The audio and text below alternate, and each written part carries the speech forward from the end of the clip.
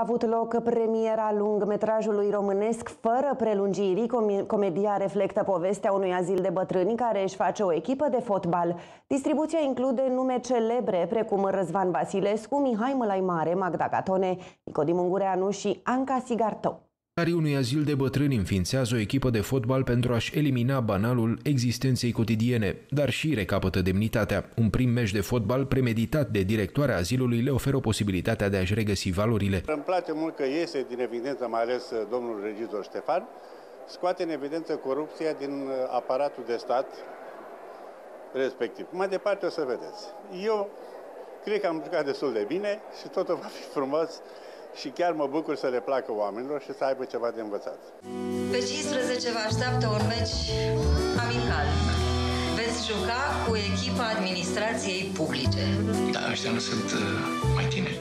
M-am trezit uh, chemat uh, să fac film la, la o vârstă când uh, chestia asta nu mă mai interesează.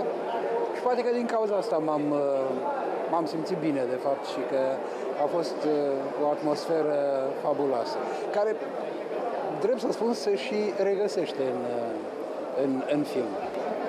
A, să vadă filmele la cinematograf.